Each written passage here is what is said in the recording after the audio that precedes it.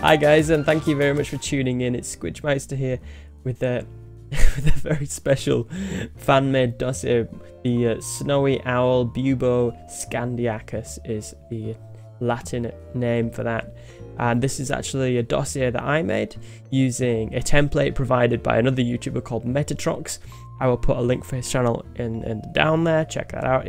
And thank you to him for providing that. And also the artwork that you see in this is not done by me it's done by sort of people of various websites who I don't know personally. Um, but big shout out to them for, for leaving the, these kind of things on the internet for people like us to use. Really glad that you've tuned in today. I'm just going to talk through the dossier basically and uh, the idea behind it. Let's start with the name Snowy Owl Bubo scandiacus. It's nocturnal, obviously, because it's an owl.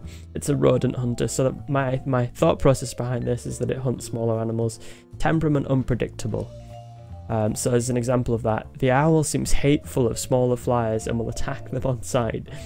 And I, I, just thought I'd give it a little bit of personality if it was only aggressive to certain dinos. I don't know if that's something that could ever even be implemented into the game. But I thought it was a neat little idea, so it goes after sort of Dimorphodons or even Lystrosaurus. Um, maybe even a Phiomia, you know, that would be quite a funny thing to see. And now let's just zoom in on this little bit here. This sly owl can be found at all heights in the coldest places. So yeah, obviously you want the snowy owl to be found in the snow biome, and that's getting an expansion soon, so that's pretty much why I put that in there. I thought it'd be cool if that came with like a new creature. Obviously this isn't going to go into the actual game, but uh, you know, you've got to use your imagination a little bit when you do these things. It, along those lines, it has been seen rarely in the redwoods, where it hunts the less powerful flyers and rodents that dwell there. Now we're also getting the Archaeopteryx with the redwoods, and I just think it would be great to, to consider the owl in that way, um, as it's sort of hunting the, the Archaeopteryx, the Dimorphodon, the Lystrosaurus, these sort of new dinosaurs that have come fairly recently that are very small. Titanomyrma as well, and uh, Meganeura, it could be, there's no reason it shouldn't attack them. Now this is probably the, the most interesting bit. Domesticated, the, owl, the wise owl has the odd ability to signal the coming of dusk with its hooting, as owls would do, right? And now this sound seems to rouse predators at night. Now I know that there is an upcoming dinosaur similar to the Carno that is strong at night, and this kind of thing I just thought like maybe it has some kind of buff that follows you around so you stick it on follow it flies around after you and makes any carnivorous dinosaur stronger at night i thought that'd be a pretty cool thing to have and then I put this in. Don't try to pick it up or it might just fly away. And now I, I, want I want this creature to, to be sort of considered as a very willful animal and almost to the point of intelligence. So if you try and pick it up or use it as a parachute or anything like that, then it might untame itself. So perhaps you do you are able to use it as a parachute for say five seconds, but then it becomes wild again and flies away. I don't know.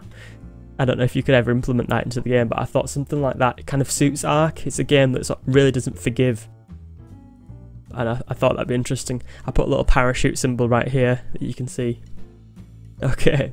And then as for taming it, I thought oh, I've written here, despite being mainly carnivorous, the owl seems very glad to eat seeds from survivors. Perhaps it lacks the patience to harvest them itself.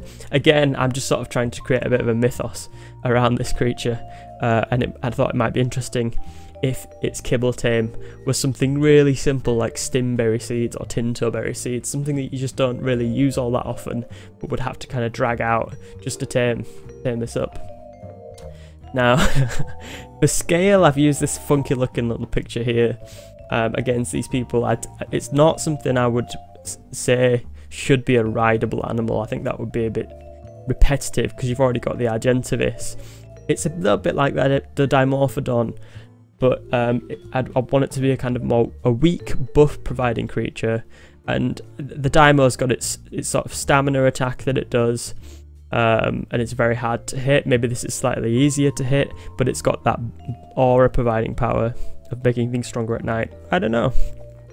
And then I thought, depending if you could implement it into the game, there's no real way of telling the time in the game unless you use the HUD to tell you so, the advanced HUD. So I thought, I, I wrote this. I guess I should not be so surprised that this bird seems so much more willful than its lesser evolved cousins. Sometimes I think it tries to say what hour it is. I just, I, I know that parrots are probably like the kind of birds that you would think of as talking. But I thought it'd just be really cool to have a, like a bird-like sound of what, what time it is. I'm, I'm not to disgrace myself with an impression. Again, big shout out to, to whoever did this artwork. I don't know them personally, I don't know their name. Um, but that's pretty much it, guys. We're going to wrap it up there. I just, uh, I really hope you've enjoyed that. And uh, please do remember to hit the like button, I really appreciate it. And consider subscribing for daily content. So thanks very much, guys, and take it easy.